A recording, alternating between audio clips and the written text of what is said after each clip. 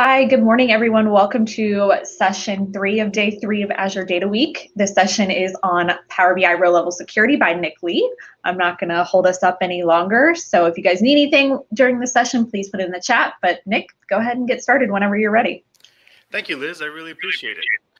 Hi, everybody. Uh, like Liz says, my name is Nick Lee. I'm a consultant over here at Pragmatic Works, and we're going to be talking about some row level security today. Uh, row level security is a really hot topic. It's brought up all the time. They're always making changes to the functionality and things you can do with it. Over the last year, I know there's been tons of changes uh, that people are very happy about when it comes to row level security, and we are going to kind of give you guys the rundown uh, the basics to more of like an advanced level of row level security. And the point of row level security, if you don't know what it is, it's a way to restrict access in your data model to certain rows of data. For instance, if, if certain people are only supposed to see certain amounts of data, like, uh, you know, let's say I lived in and worked in the Northeast region of the United States as like a salesperson, I should only be able to see sales information for the Northeast region of the United States, even though we have the same data model being used for every sales representative, regardless of where they are. So that's what we're talking about when we're talking about row level security. There's very basic levels to it, and there's a lot more advanced levels to it. And we're going to go ahead and just kind of dive right in here. Let me get this going.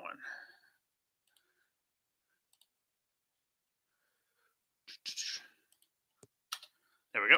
All right. So, uh, real quick about me to give you a little rundown about myself. I am a super huge nerd. Uh, it's actually what got me into this field to begin with. I love researching and playing like video games and board games. I'm, I'm, I'm a nerd through and through. Uh, and yeah, that's how I kind of got started with uh, data analytics from studying research and researching probabilities on stuff like Dungeons and Dragons dice rolls and and World of Warcraft. You know who who could perform the best and stuff like that. So that's kind of like my background got me into this field. Like I said, I'm a consultant. I also have done a lot of training here at Pragmatic Works.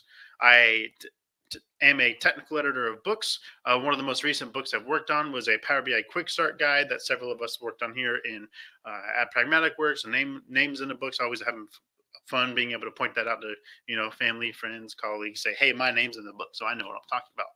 Uh, I also do a lot of presentations at places like the Jacksonville SQL Server User Group. I, I, participate there, like SQL Saturdays. I did a presentation at SQL Saturday this year. Uh, I also do like a local user group, Power BI user group for Jacksonville. Yes, Jacksonville, Florida is where I'm from. Uh, I'm actually doing a presentation for pa- Jacksonville Power BI user group tomorrow uh, here locally. Uh, I also do blog. I, I don't blog as much as I wish I did, but that is one of the things that I hope to start blogging a lot more. So if you like the style of this presentation and how I present things, check out my blog. It's back to SQL.wordpress.com. Also check out my Twitter. My Twitter handle is at back to SQL, and you could reach out to me there, or you could follow me there, uh, and you know you can see all kind of updates I post. I post a lot of updates on, you know, new Power BI happenings or new, basically anything in the Microsoft BI stack. I tend to uh, tweet about. All right, so let's talk about a little bit about the agenda for what this presentation is. We are talking about row level security. We're going to learn what row level security is, and we're going to talk about making like a basic setup for row level security, you know, adding, you know, individual fields, hard coding some values in there, and then making it more dynamic because when you're talking basic row level security and hard coding values, we're saying, all right, this person can see this role, and this person is in this role, and this person is in this role.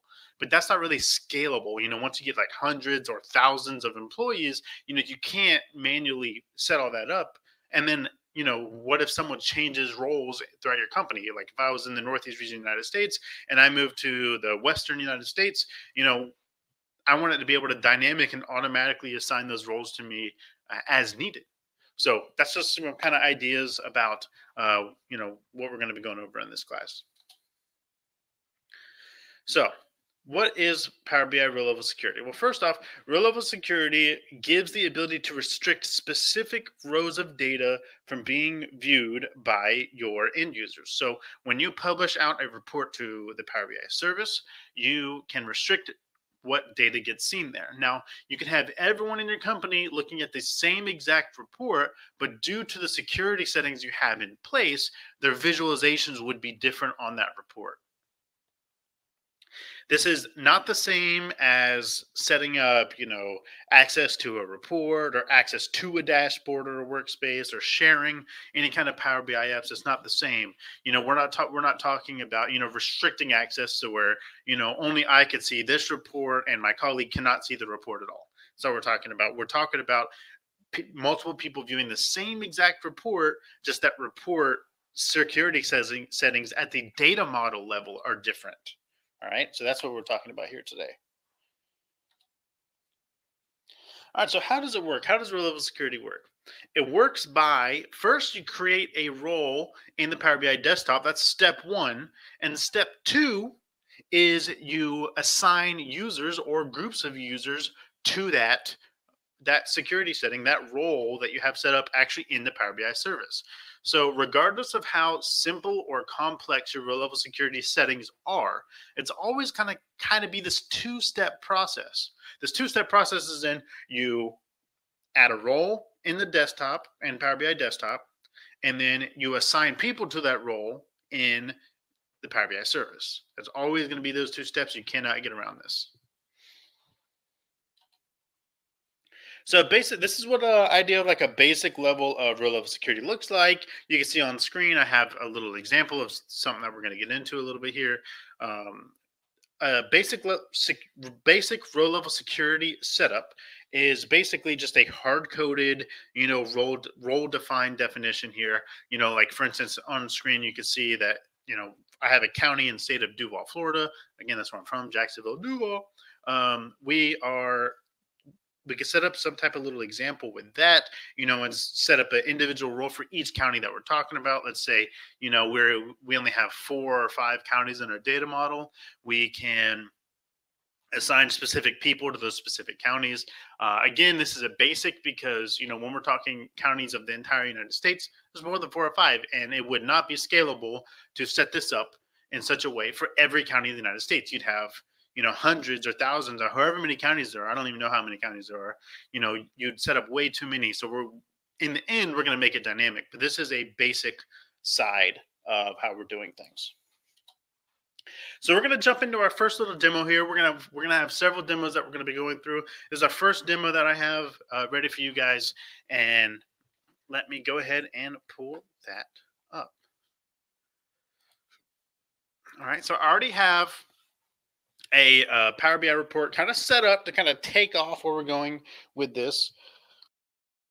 What this is, this is just this is all just Medicare data. It's public information uh, that you could extract from data.gov. Anyone could see this, so there's nothing private. This is just example data of public information that's out there.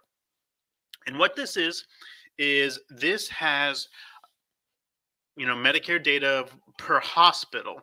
So this little column chart i had down here like i said the information isn't super important. We could see average spendings per trip to the hospital uh, per hospital that we have here per uh, patient. And we have you know different types of uh, different types of claim types available that we see in this bar chart on the right hand side.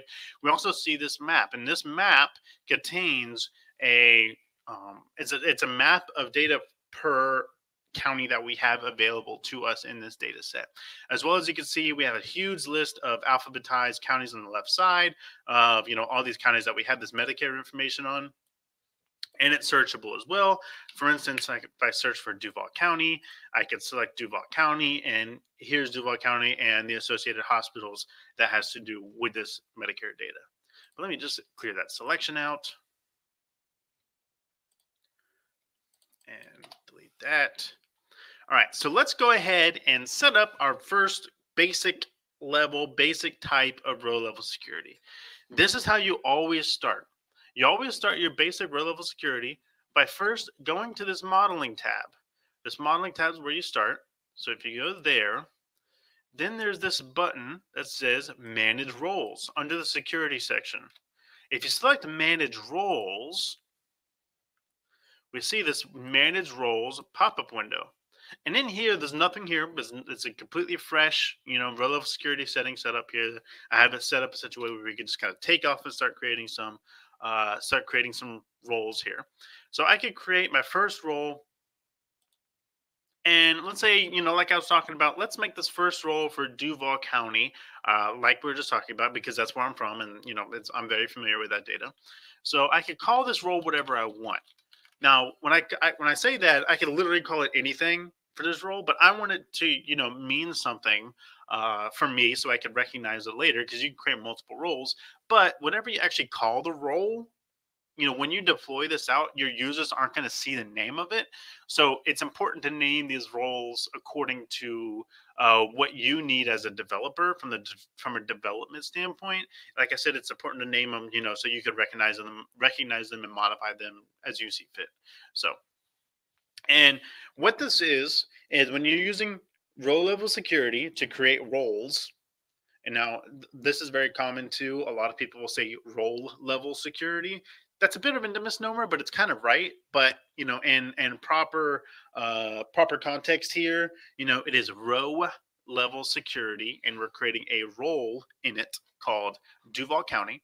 And how this works is just how row level security works are just DAX expressions. That's that's straight up what it is. It is just a DAX expression. So my my DAX expression here, uh, I could create one however I want. I could start writing it from scratch here, or I could kind of use the GUI here, my little interface that I have to kind of help me write that code a little bit. So for instance, if I click on this little ellipses, this tiny, tiny, you know, Microsoft TM uh, ellipses here, ellipses TM, whatever you want to call it. I can click on that ellipses and I can hit add a filter. I want to add a filter to this table that I have. This table is called hospital general information. I want to add a filter to it on the county name. Actually, not not county name. I apologize. County state. I want to be a little more granular and, and specify which state I'm, I'm filtering down to as well as the county. So how I kind of have these counties set up here is I have it set up in such a way where it is county, comma, space, state, state abbreviation. So when I add this filter in, I can remove this section that says value and I could enter Duval comma space FL. This is actually exactly how it looks just like this in my actual uh, data model. In the table itself, this is the, the, the format it is in. Now, this is a DAX expression, which means that you have to write it exactly the same as it is in your tables. Now, what I mean by that is, is you know, the syntax has to be the same. If you have commas, you have to have a comma. If you have a space, you have to have a space. The lettering has to be the same. But because it's DAX, remember, DAX is not case sensitive. It's only case sensitive to very specific functions.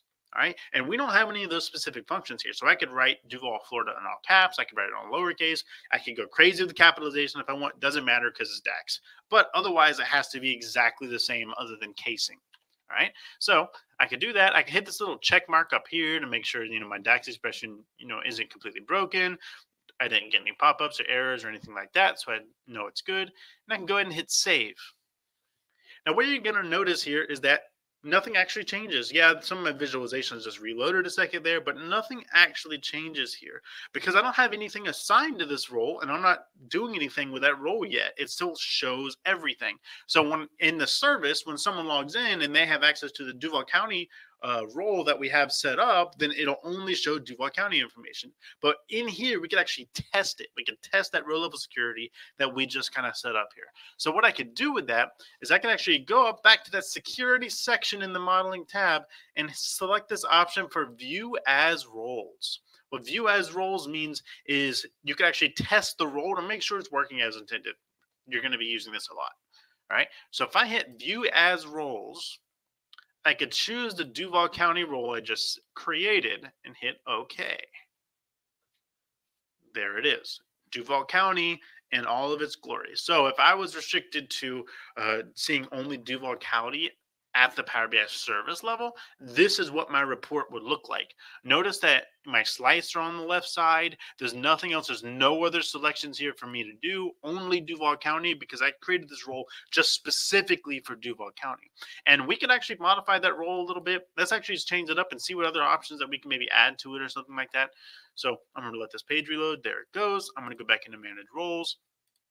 And you can add multiple filters to this same table. Notice how this little filter icon here is next to the hospital general, general information table. Notice it's next to it, and uh, it next to it like this, the saying this table is being filtered down. But we could add more filters. For instance, if I hit the ellipses and hit add filter, and I want to add another county, for instance, I could do this. Uh, there's a neighboring county to Duval called Clay County. So I'm going to check that. So I'm looking at a filter for both Duval County and Clay County.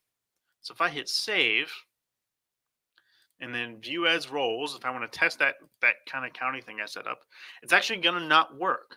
All right, and I did this intended. I promise this was intentional. The reason why this does not work because the the the the operator that I used in creating this role was an ampersand or, or double ampersand, which means and, which means that I am restricting to my data to I can only see hospital information where each record participated in both Clay County and Duval County, which isn't really possible in a hospital. I mean, I guess supposedly it is possible. I don't really know the specifics about it, but it, from a logical standpoint, it doesn't make sense, right? So what I could do instead of having and or Duval and Clay County, I can actually change this double ampersand icon to double pipe delimiters.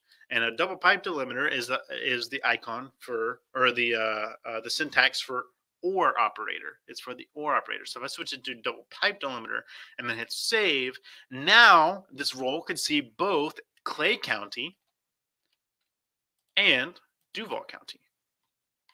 All right, so that's kind of set up that way. Another thing you could do is you could actually set up multiple roles.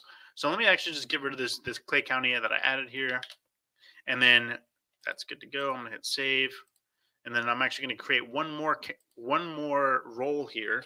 I'm just going to call Florida, or maybe I'm going to call it Florida State because you know keep the nomenclature the same. So this next role I'm setting up is restrict the data set to only be able to viewable in Florida. So I can actually click that little, uh, you know, Microsoft ellipses here next to hospital general information, hit add filter, go to state, where the state value equals FL. I can hit save. Well, I'm still viewing as this old role. And you could actually test multiple roles at the same time. So if I hit view as roles here, I could actually select both Duval County and Florida State. I can select both Duval County and Florida State, but there's a little bit of interesting, interesting uh, type of behavior here. So if I hit OK, what you're going to see is, you know, you're going to see all of Florida, all the information I have on Florida. So this is a rule of thumb. If you have multiple, if you have someone assigned to multiple roles or multiple roles are being testing tested at the same exact time, it's always going to pick the role that has the highest level of granularity to be shown. Logically speaking, it makes sense. All right. I want to look at all of Florida and I want to look at all of Duval County. Well, Duval County is in Florida, so it's going to show everything. All right, so that's just a little, just a little tidbit there. Uh, but if I can, I can go and hit stop viewing. So what I could do with this now, I can actually publish this out to the service and assign roles to it or people to these roles. So what I can do is I go to the home tab at the top and select this little publish icon that everyone should be familiar with. If you're taking this real level security class, hopefully you're familiar with this publish uh, action here. And I'm going to deploy this out to the Power BI service, and then we're going to pull it up on the service to test it out. So I already created a workspace just for this Azure Data Week row level security workspace. I'm going to select it and I am going to publish out our first little demo to the service. Now, if I go a little fast on this, I apologize. We do have a lot to to uh, to cover here. This is all going to be recorded, and there is actually going to be quite a bit of DAX in this class while that's loading here. Um, I'm talking about this. There is quite a little bit of DAX in this class as well, and it's going to be hard to kind of follow along a little bit, but have no fear. These are being recorded. So if you, if you have access to it now, if you're here right now, this video is going to be recorded, and you're going to be able to view it later and kind of catch up on some of that DAX information. All right, so here we are. Well, I'm already in that that uh, workspace that I have created, ADW RLS, and we can see my report and my data set here are published out. And I am going to go ahead and modify some security settings for this. Now, you could actually access this a couple different ways. You could do it directly from the workspace, you know, kind of high level view here. I can select data sets on the top tab. I click the little Microsoft ellipses and go to security, or I could go down to this data set section and select ellipses there, do the same thing, and choose the option for security. So that's what I'm going to do. I'm going to choose security. And we see those two roles that I just created, Duval County and Florida State. Now, from here is actually where you assign people to those roles. Because if you actually don't assign people to those roles, those roles aren't going to do anything. They're just going to be there in the background and nothing's actually happening. So one of the cool things about this is you could actually add entire groups of people in from your Azure Active Directory to this, or you could assign individual users. For instance, I could assign Brian Knight to this individually by you know by himself if I wanted to, or I could go ahead and assign the entire Pragmatic Works consulting department to this. I can go and hit add. So everyone that's in the Pragmatic Works consulting department here at my company in my Azure Active Directory, I can go and assign them to this kind of Duval County role here. And I have this Florida State one I could do as well. Oh yeah, I'm gonna hit save there to make sure it saves that information. I can assign people here, different groups of people or whatever it is, I could assign them to that. Certainly possible. Another cool thing you could do here is, you know, if you assign people to a group and you're not part of the group, you can't really see it. But we can also test these roles to make sure they're working as intended. So I can hit this little uh, Microsoft ellipses next to Duval County and hit test as role. So I can hit test as role. And in the service, this is what the report looks like if you're assigned to that Duval County role. If you're assigned to that Duval County role, you can only see Duval County and there's nothing you could do about it. Right? That's it. That's just how it works. Uh, so we can see this is working as intended. So anyone that is part of that that that uh, Pragmatic Consulting Group, when they log in here, they're only going to be able to see this county. And remember, like you can assign multiple people at a time to one role. You can assign one person. You can assign multiple groups. You can do all kinds of different things. One person could be in multiple different roles as well. Let's say you have a Northeast region and a Southeast region and a Western and Central and all these different things. And I was in the Northeast and Central United States for sales. I could actually be part of two different groups and just see Northeast and Central at the same exact time. Pretty nifty. All right, so that's that. We could test. We're testing it here. We can see it's working as intended. So that's that's great, and that's like basically the most basic version of row level security that we got. So let me move this stuff out the way. I'm actually going to go ahead and close this example down, and let's move on in PowerPoint a little bit here. One of the problems with basic level security is something that I already pointed out, and that is that the fact that you have basic, you know, if you have to assign people to each individual region or county or or or whatever it is, whatever it is, you're going to have a million different roles depending on how large or how many different demographics you have throughout your company. So if you do it like this basic way, you're gonna have to create a new role for every different scenario of security that you need. And this would this would require continuous maintenance because, like I said, you could change roles in your company. I could move from Northeast United States to Central United States, and that needs to be changed. But it would be too difficult to always, you know, micromanage people in the service to change what role they're in. So we're going to talk a little bit about dynamic security here. Now, how dynamic security works, it actually captures the user that's currently logged into the Power BI report. So then I don't actually have to hard code, you know, like, all right, Nick, he can only see Duval. I can actually make it dynamic and I can have it look up a table and say, oh, Nick's logged in. What county does he have access to? Oh, he has access to Duval County. So we can actually pull that up just like that. It actually checks, like I said, it checks permission actually against the table that's currently in that data model. Now, this matches the user's login to a T. So when you're when I type, say login, I mean log into the Power BI service. Now, this is all integrated with Azure and your Azure Active Directory. So everyone should have the same exact sign in uh, on the Power BI service as is in your Azure Active Directory. And that's how this works. And this works based off of two core functions here. Uh, you can use either one, but generally the best practice is to use user principal name.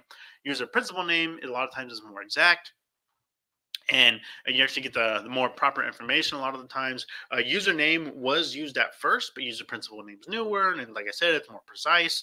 Uh, so we typically use user principal name. There are some fringe case scenarios that I'm not going to get into right now because of time of where you would actually use username over user principal name. But like I said, it's a fringe case. Uh, nine times out of 10, or maybe even more than that, you're actually going to be using uh, user principal name instead. So let's do a little, uh, little, you know, walk through on making a dynamic Power BI row level security setup. So I already have, again, I already have a uh, I already have a data model set up. This looks very similar to the one we had before, this little report that we had here, though there are a few changes. Primarily, the changes are actually in the data itself, in the data model. So if I look at my data view tab on the left side and under hospital general information, I actually added some columns here that weren't there before. Actually, some doctor names, and of course, this is fictitious. I made this up. So I'm a doctor in here, and I also added a doctor email column. Any of mm. these doctors that we have, we have a few consultants that, like I said, I just kind of put some put some names in here. This is all fictitious. So I have, you know, Adam Jorgensen, Brian Knight, Paul Turley in here as doctors, and you know, we, we have this kind of set up in such a way where you know we all demand certain different counties that are in our groups, and that's kind of the difference in the data view here that we had before. So, also in the uh, actual model view, this is what our tables look like. Our two different tables, we have a simple one single direction, one to many relationship uh, based on the name of the hospital. Uh, that we have kind of set up here. So that's how this is basic, you know, type of data model set up. We're going to get more complex as this presentation goes. But like I said, this is a pretty simple setup. As you can also see here, I had these two little, oops, there's huge square. There we go. I have these two little measures. Let me zoom in a little bit here. These two measures that are just, you know, representing uh, the username and user principal name. They are just that. All they have is the uh, selection of, you know, username function and user principal name functions to capture uh, who is currently logged in at the time. All right. So let's go ahead and get back to it and add a dynamic security role. So if I go up to the modeling tab again, we go back to that manage roles button. This you better get used to that. This is what this whole presentation is about is leveraging this manage roles button. So we're going to go into manage roles. Notice there's no filter set up currently. I can select create. I can create a new manage role. And this time we're doing dynamic stuff, right? So let's call this role dynamic security. And in this, I'm actually going to create a, instead of a uh, filter based on the county, I am going to look up the actual uh, doctor email of whoever signed in at the time. Right? I am going to look up the doctor email. So instead of hard coding, oh, I'm creating this role for Nick in Lee at pragmaticworks.com and I have to create one for everyone, I'm actually going to just delete this whole section here with double quotes and everything like that because we're actually going to make this dynamic. So where the doctor email equals the user principal name function. Like I said, the user principal name is a lookup function. It looks up whoever is currently signed in at the time to this Power BI report. And it's pretty awesome. Works really well. All right. So one thing to keep in mind here, notice that I had to type that out manually. Uh, again, DAX, you could write this all lowercase if you wanted to, all uppercase. It's just best practice. All your functions should be written in uppercase, blah, blah, blah. Also, you would probably notice that there was no IntelliSense there. Unfortunately, DAX expressions in row level security has no IntelliSense, Doesn't help you write it whatsoever. And if you mess up, it's kind of hard to figure it out. So what a lot of people do is they will actually write these these filters in actual measure because the measure helps you write it and it still works. And then once you have it finished in the measure, you just copy and paste that code right here into this DAX expression. That's a very common thing that a lot of people do. And I actually highly recommend doing that if you are diving into this for the first time, especially if you're not super duper comfortable with uh, writing DAX exactly how it's supposed to be in a syntactual level. All right. So this is all set up. I am going to be looking at, you know, who's currently logged in at the time. I'm going to hit save. And I am currently set up in here to only view certain states and certain uh, counties within certain states. But unfortunately, that's not going to work exactly. And let me show you why. This can be a little bit hard to test on the actual desktop version when you make it dynamic. The reason why it's hard to test is because it's looking up who's actually signed in to this Power BI report right now. Well, who's signed in? I am. Is my is this tied to Azure at all right now? This is just an application on my computer. It's not. I could actually show you that if I flip to page two, we can see I just have these cards set up and who is signed in via user principal name. Well, my computer's name is Nick, and my login name to my computer is Nick Lee. This isn't in Lee at Pragmatic Works. It's not. Uh, and because of that, um, because I'm not actually don't have this published out to the service yet, it's kind of hard to test locally here. To do most of your testing, you're gonna have to publish it first and then test it. All right. So that's why this user principal name, we can't really do much testing here. So I'm just gonna go ahead and flip back to page one. Actually, yeah, I'm actually gonna leave it on page two, matter of fact. And then I'm gonna publish this out to the service. Yes, I'm gonna save it. I am going to publish this out to the service and choose my ADW RLS workspace.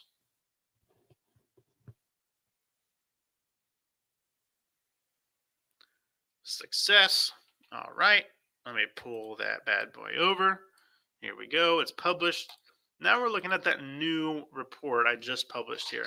Notice now it's already defaulted on page two because that's the page I published it on. Notice now it says inly at pragmaticworks.com. It doesn't say my computer name, my domain name, and then my username. No, it actually pulls it from me being signed in to the Power BI service and is able to detect that. Now, if I go to page one here, let me load, let these visuals load.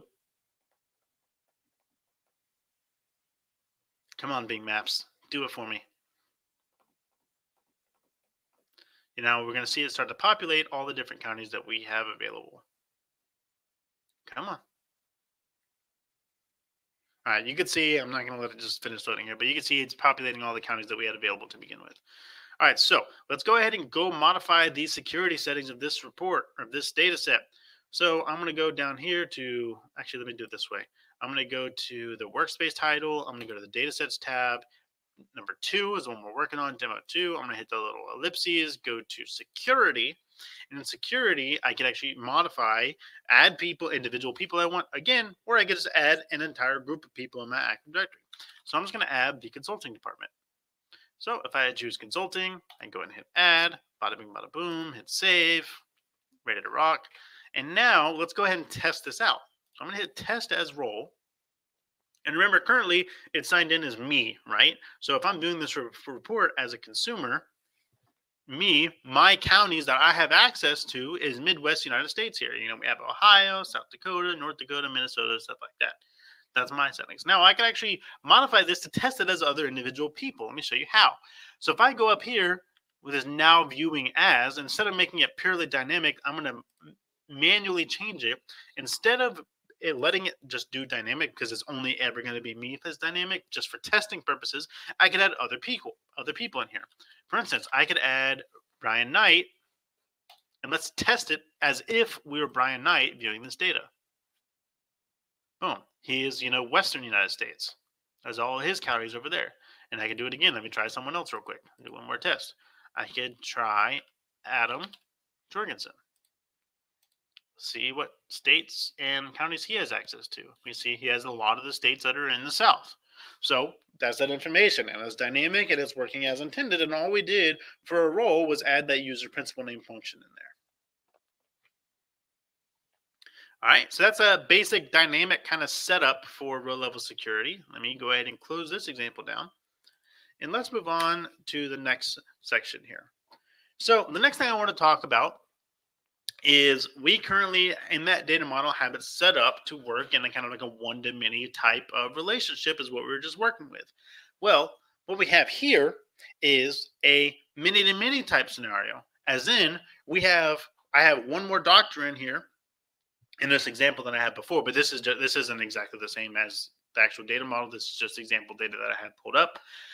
The, the issue why that last data model wouldn't have worked in this scenario is because we had in that last data model a you know only each individual hospital is only assigned to one doctor or one consultant however you want to look at it here. Now in this case in this scenario we might have multiple doctors or multiple consultants assigned to multiple hospitals right? So we might have you know like for instance here user id number one which is adam has access to to the state or state of or state ID or provider ID, or however you want to look at it here. This is looking at it from a sales perspective, so it's a little different than our data model. But he has access to uh, IDs of one and three. But if you also look at Paul Turley, he has access to state ID of two, right? That's a little different. That's normal. But then the real kicker is Brian. Brian has access, which is user ID of two, has access to three and four. This leaves us with one common denominator here. That is, they both have access to this state of number three. So that means they're going to have, you know, some of the hospitals or a singular hospital is assigned to multiple users, and multiple users are assigned to a single hospital. This is what's called a many to many support. This is a many to many type of relationship setup that we have here. Now, what you're actually not going to see in the data model is any, if you're familiar with how relationships work, you're not going to see a star to star. You're not going to see many to many. This is many to many support. We could bypass the inherent issues that many to many table or relationships have by using what's called a bridge table, as you can see in this user state bridge. So we have this user state bridge table that allows us to kind of do some what's also known as cross filtering across multiple tables to have you know multiple you know uh, multiple states you know filtered down by multiple users and vice versa. And we all have that working here. Like i said this is called many to many support.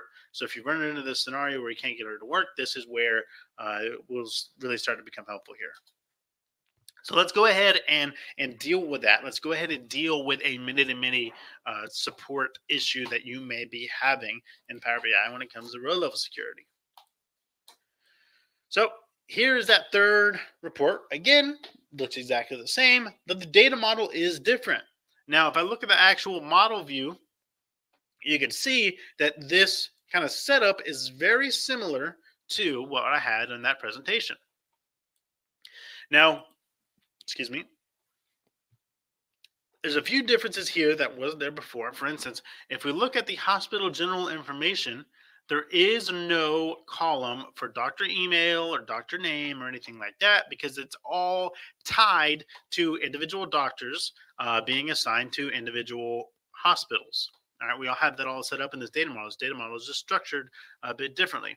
So this bridge table, which is also known as like a scenarios table or a profile table that we have here, this bridge table uh, acts uh, is, is able to act through multiple different types of scenarios, as in which users can see which hospitals. All right. So if I deployed this out right now and started testing that that uh, that ro- roles on it. By the way, if I look at the report view, I should have already made a role here, make it work. I did. It's exactly the same as last one. We had that dynamic security with user principal name on there. If I deployed this out right now, as it stands, it actually wouldn't work. And now some of you might be able to tell me why, but I imagine that some of you will not. And let me just jump back to my presentation real quick to kind of show you why it won't work. So why this wouldn't work if I deployed it as is, is because of how our data model is structured currently with the relationships you see that the uh, username is tied to the user principal name, right? That is our row level security. So our user principal name is then filtering down our provider user bridge table along this relationship that exists right here. All right. So the filter gets applied this direction. Notice these, these little arrows that are on the screen, these little tiny little arrows that are part of the relationship mean a lot. They're indicative of saying uh, which direction filters are allowed. So saying the user table can filter down the bridge table. But as soon as that happens, let me go back. As soon as that happens, you can see this relationship is saying the hospital general information table can filter down the provider user bridge table. But we want our user table to be able to filter down our hospital general information table. And as it stands, we have this kind of breakpoint right here where we can't get past because we have a single direction filtering going the wrong way. So what we're going to do is we're going to actually uh, break down why and or how we could fix that on this on this scenario. And actually, we're going to go over a couple different ways to fix that. So the first way we can fix it is the easy way to fix it. Uh, what I mean by the easy way is, it's literally a couple clicks of the mouse and it fixes it. But the problem with doing it this way, it kind of hurts the integrity of the data model because it makes it perform worse. Because uh, when I'm not going to go over why many of the many supports is is hard for your computer or hard for your data model rather. Um, but I will say that you can trust me when I say doing it this way, especially on the bigger the data set, the bigger the data set, the more performance implications you're going to have if you use this method. And we're going to go over the better method later. But for now, let's go ahead and do this. So what we could do is I could actually go in and modify this relationship. There's a few different ways you can do it. Easiest way to modify a relationship is to just literally double click on it I'm double clicking on that line there. And notice here it says the cardinality is many to one. That's what we want. But this cross filter direction is set to single. Well, I want it to be a bi-directional relationship or a both direction relationship. So I can actually switch this little drop down to both. And then there's this next setting, apply security filter in both directions. That's exactly what we're modifying here. We're modifying the security filter. So for us, in this case, we need to check the box for apply security filter in both directions and then select OK. All right, now that that's done, you can actually see this relationship, the line between this relationship actually points both directions, which means now we have a path or like a pipeline for getting from our DIM user table to the user bridge. And then we can also go from the user bridge to the hospital general information, which, you know, in layman's terms, our user table can now filter down our general information table. All right, so that's kind of the idea here. So if I publish this out, if I go to home, hit publish, save. We can run through this real quick. Publish this to Azure Data Week, row level security.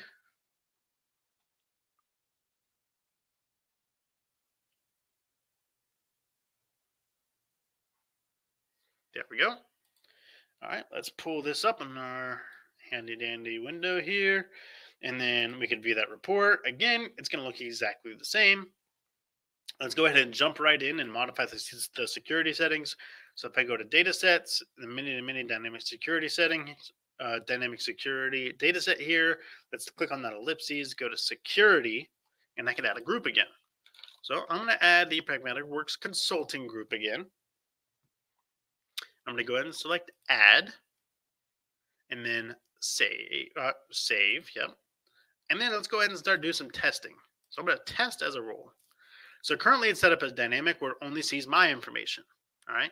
So we can see I have some some states in uh, the the Northwest. I could go ahead and change this as well. I could look at let's look at Adam Jorgensen. He is assigned to some of the southern states like Florida, Georgia, Louisiana, Alabama, South Carolina, North Carolina, etc. Uh, he has that information, right? So these he has his own set of states here that previously he was alone here. But I added another person to this data model. Excuse me. All right. And I added another person to this data model. And if I hit out of Adam and look for Joe Abbott, we can actually see if we're looking at Joe Abbott's settings, he actually shares. Oh, it's not working as I planned here exactly. For some reason, that's not working. Um, but Joe Abbott actually shares in this data model. Geez, I wish I could fix this real quick. Joe Abbott actually shares some states with both Adam um, as well as me. And let me see if I can do a quick fix on this. We're running short of time, so I can't spend too much time. Let me try to fix it on the background really quick. This is number three. There.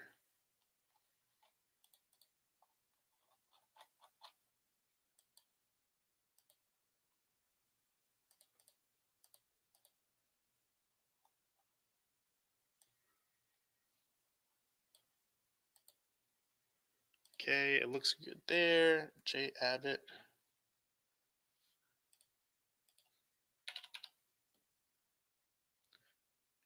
Oh, I see where I messed up. All right, I can actually fix this super quick. Give me one minute.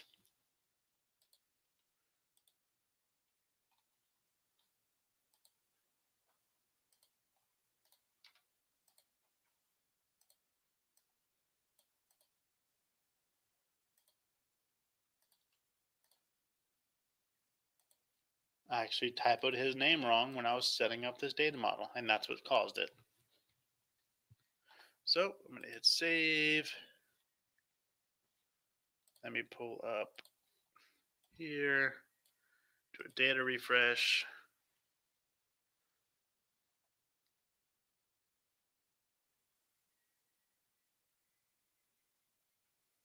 Boom. Notice his last name had one T before, now it has two. All right, so let's go ahead and republish this again. If I hit save, by the way, this is a very common question. What happens if you publish a Power BI report with the same exact nomenclature? You get this option, replacing dataset. You've already have dataset three. Are you sure you want to replace it? Well, yes, in fact, I do. And if you do this, it literally gets rid of that uh, Power BI report, and unless your company has some type of backups in place, you could actually completely like delete reports on accident that are in the service, and it could really mess you up. So just for the record, be careful doing that. But I just republished it. I overwrote it. So let me go back to my data sets here. Many to many security. Go to security settings. Notice that when you do that, though, this is actually really cool functionality. If you have row level security applied, it just overrides and inherits the previous row level security. So I had a role called dynamic security, and pragmatic works consulting is already assigned. It inherits that that role that was in place. All right, that's really cool. So let me go ahead and run a test on this role. And this time, if we look at Joe Abbott, let me deselect this. This time, if we select Joe Abbott and hit apply, there we go. Now it's working. So we'll see that Joe has access to Florida and Georgia. Well, so does Adam. And he also has access up here to North Dakota and South Dakota. Well, so do I. And he shares some stuff with Brian and shares some stuff with Paul Turley.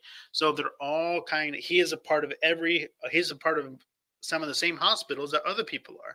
And this wouldn't have worked in our last data model. We couldn't have done this in our last data model without setting up that many to many support in our current data model. All right. So pretty cool information. All right, so I'm gonna kind of jump into this next one really fast here. Uh, we're running short on time. I'm trying to get through all this. So, like I said, if I go too fast, I apologize, but we do have recordings. So, that being said, let me move this out the way and let's continue here.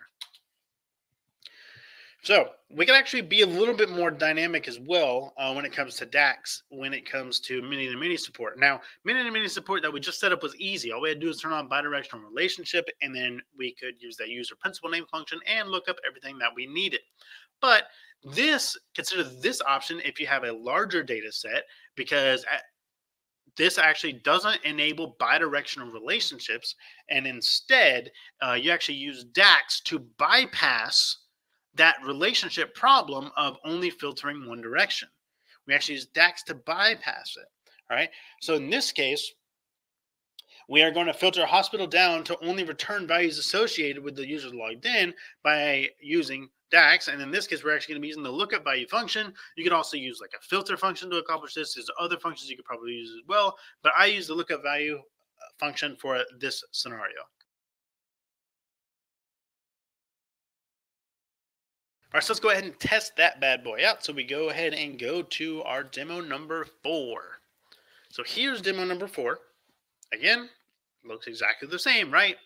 But in this case, if we go look back at our look at back at our modeling view, we can see that this relationship setup we have here is back to that one-way relationship. We don't have it set up in bidirection or in both directions rather we have it a single single direction relationship going and we're going to leave it that way because performance is a lot better and when i say a lot it is it really is so much better to have it this way for especially with large data sets because bidirectional relationships often cause what's called Cartesian products.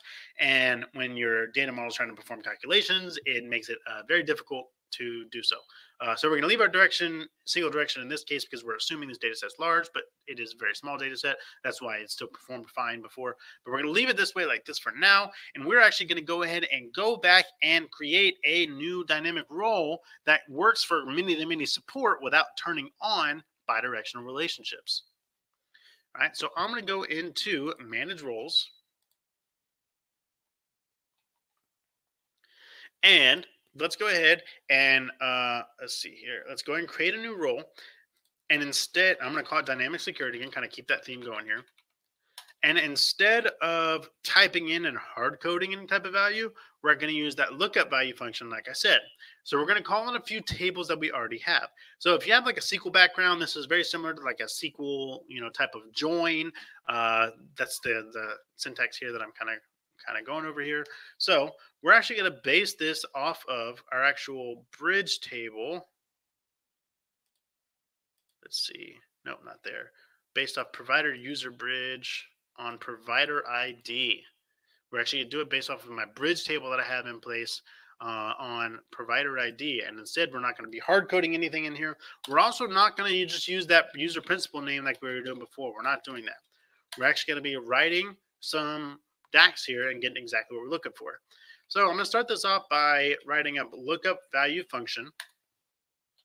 All right, we're going to use the lookup value function. And first off, um, the, the idea of this function, this lookup value function, is we want to tell this function what value we want to be returned or returned back to us, which in this case, we want to return back the value that's inside of our bridge table for the provider ID. So we only want to return back the results where the provider ID is in the bridge table for a particular user. All right, that's the idea. That's the goal we're looking for. So first off, uh, let's go ahead and match this based on our provider user bridge table, provider ID.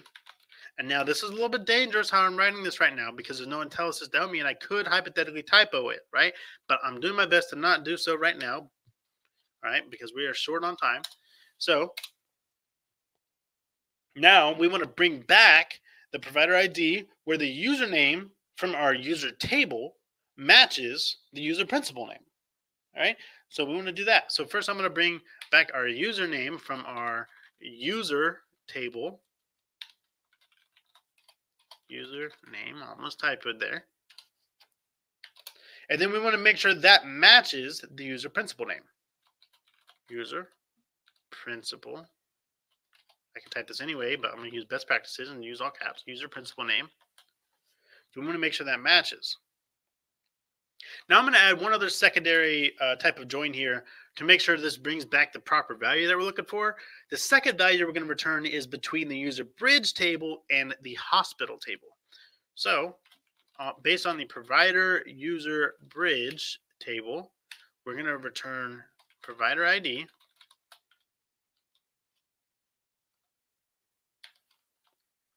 according to what the hospital general information tables provider ID is. So we're going to match that up there. I'm going to join on provider ID there.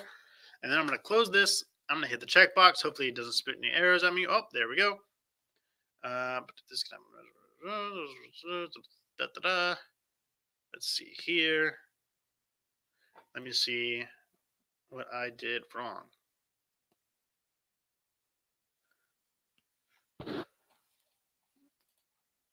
I had this code working, obviously tested.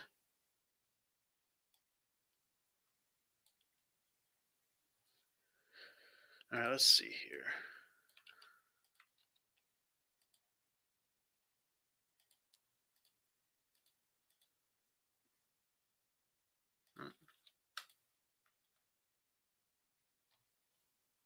Hmm. Just double check some of my stuff that I have. See, this is what happens when you try to hard code things and without having just pasting it in or from DAX.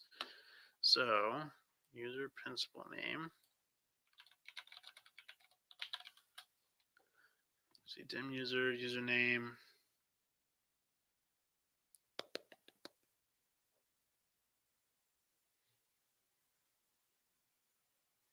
So I tried to do a shortcut here and it ended up biting us.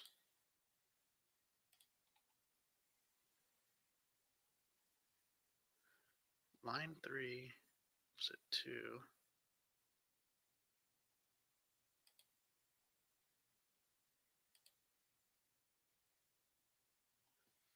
Sorry, guys, give me one second to debug this a little bit.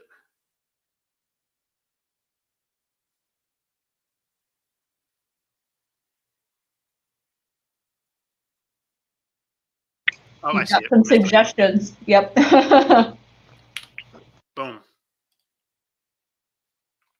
Let's see here. Nope, not there.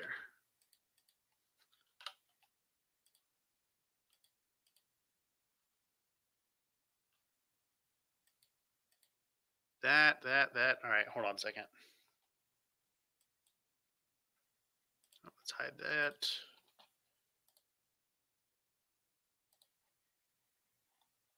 Dim users missing a quote. All right, yeah, that's what it did.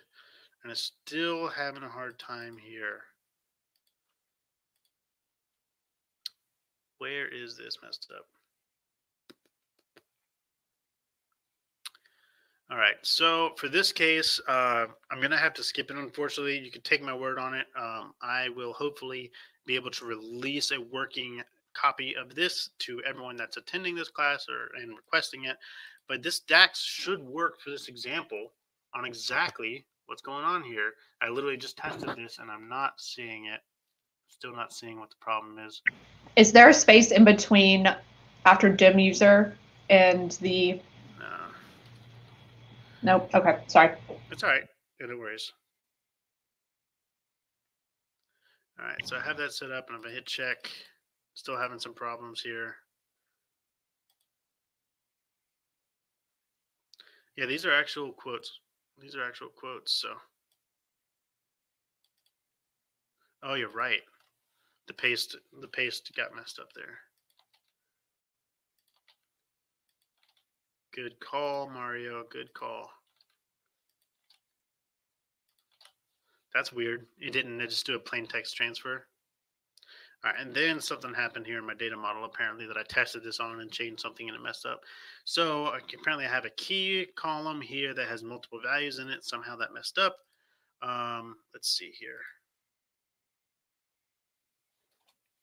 All right. So if this DAX is working correctly, we only have a couple minutes left. So I'm to do something super fast. Let's pretend I published this out and it all worked, right? That's the whole point of this. Like there's something, it's very small in this data model that's messed up. That's not working. I had it working. That's not working now. So regardless, let me do one more thing I want to talk to you guys about really quick. We have a couple minutes left. And that is modifying a level security setup to work with a parent child type of hierarchy. This is very common and easy to work through. So for instance, uh, this is also known as a self self referencing type of table.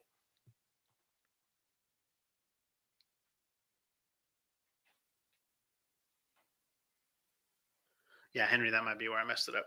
But this is where uh, we, like I said, we have to move on real quick here. Um, this is based off of a, uh, like I said, with a parent-child hierarchy, looking from a managerial standpoint. So we can see at the top of our hierarchy, this is just arbitrary. I just made this up. At the top of our hierarchy is Adam Jorgensen. We see his manager ID on the right side. He doesn't have a manager. He's at the top of the list of the hierarchy. Then we see Brian Knight uh, reports to user ID number one, which is Adam Jorgensen. Then we see users Nick Lee and Paul Turley both report to Brian Knight directly right? So we want to be able to see Brian Knight should be able to see everything under him in the hierarchy. Adam should, should see everything under him in the hierarchy. Whereas, like me, I would be Joe Abbott reports directly to three, Nick Lee, which would be me, which means that I should be able to see my information and Joe Abbott's information, but no one else's. All right. So we can actually flatten out this hierarchy on a self referencing table using this cool function in DAX called path. All right. So the path function uh, and combined with the OR operator, which is the double pipe delimiter, uh, for each flattened level of the hierarchy will allow us to kind of self-reference here and create this and kind of create this working. Now, Liz, is it possible? Is it okay if I go over like two minutes? You can go over as long as you want. Oh, as long as all right, we're gonna be here for another hour, guys. I'm just kidding. All right, so all right, I'm gonna pull up a uh, example number five here that I have set up of being able to kind of self-reference to view at those different levels here. All right. So what we're going to do here is I have to get some DAX ready to copy paste because we're short on time. All right. Yep. Yeah, now that I think about it, Henry, I think you're exactly right. That's where I messed up that role. But anyways, we're going to move on. Pretend it never happened. That last one worked great. Now we're doing this demo. All right. So we are actually going to look at our data model here. If I actually look at the data view, we actually see in our user dimension. Here we go. In our user dimension here, we see that we have this kind of manager hierarchy set up in place, eh, the same as the, the, the slide. So, like I said, this is a very common solution if you have a self-referencing type of relationship, and this is how you deal with it. All right. So the first thing we're going to do is create a new column on this user table. So if I create a new column, let me go ahead and grab some DAX that I have off screen, and hopefully this DAX is correct too. All right. So let me go ahead and grab that. Now this, this DAX is going to be working fine. So what we're going to do is I'm going to paste in this DAX here real quick. Okay, it did not like that. New column. So this is the DAX code that we have here. It is using the path function, which allows us to kind of flatten out this table a little bit and, and kind of self-reference and check across multiple things. So if I hit enter here and save this column, we could see that according to the organizational hierarchy, user ID of number one, user ID number one can see all of these information, right? And then user ID of number two could see himself. He could see mine because I'm under him, and he could also see Paul Tur or uh, Joe Abbott's because he's under me, and also Paul Turley obviously as well because is a direct report, so on and so forth. And we could see uh, user ID of number three here, which is me. I could see myself, and I could see Joe Abbott's information as well. And that's it. So that's how this kind of path function works. But to get this to work with row level security, we're actually going to be creating a few new columns here that we could actually reference. All right. So I'm going to create another column in this table. And call it organization level four. So I'm going to do a lookup and see who can view uh, at, at level four of the organization, how much do you get to see? So if I hit enter, we can see, all right, level four, which is the lowest level because we have uh, levels zero, one, two, and three. So that's four levels. We can see if you're at level four, which is just Joe Abbott in this case, he would only be able to see his own information, and that's it. And then what I'm going to do is I'm actually going to copy this code out and just do the same thing for all the different levels of the organization. All right, so organization level three. Let's modify that code a little bit. So we can see at the third level, which is me and Paul Turley, we can see what we have access to. And we can see at the third level, I can see my information and Joe Abbott's information, and Paul Turley can only see his own information. And we're going to run this down all the way to uh, organization level one. Create two more real quick. Organization level two.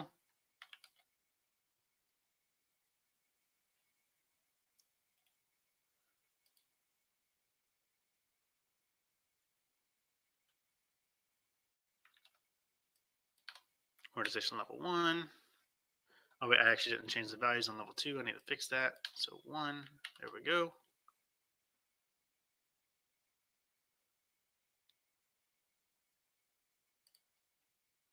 And then level two here, got to fix that.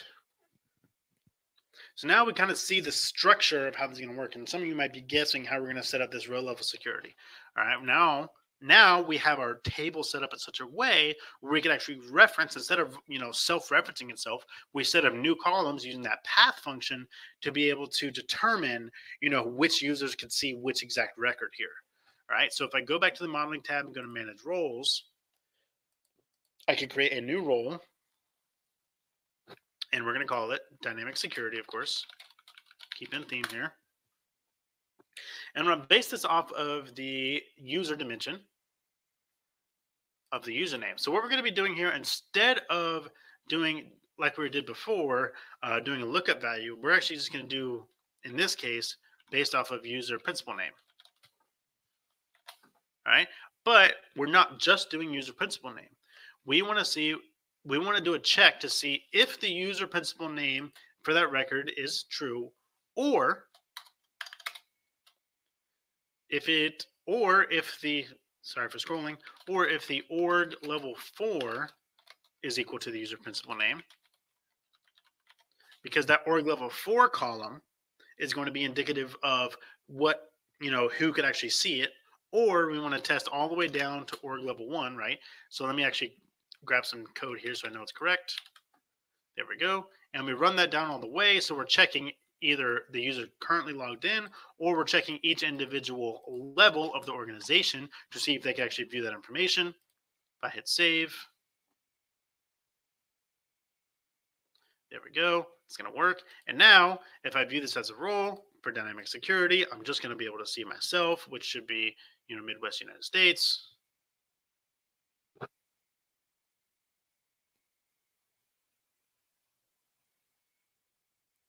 Oh, it's not doing it right because user principal name sees my domain name, uh, not my actual sign in name. So to test this again, we have to publish it.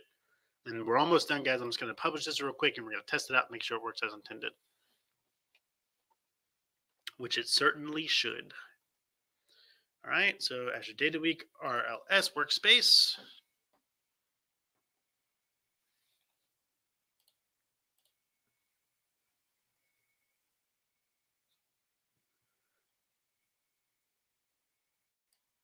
Got it.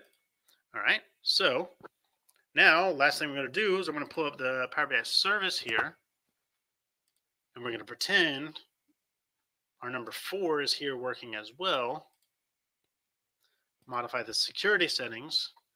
I'm going to add Pragmaticworks Consulting group, add, uh, save it. And then we're going to test this rollout like we did everything else. And now when I look up Adam Jorgensen as a role, it should show everyone, right? Because he's the top level of the hierarchy. So we're almost done, guys. Thanks for if you're still here, thanks for bearing with me. So, so if I had Adam Jorgensen here, if I were Adam Jorgensen viewing this, he should see everything. So really, not much is going to change because he should see all the roles that are assigned to everyone. As you can see here. But if I switch it to me, now let's switch it to uh, switch it to Brian and apply it.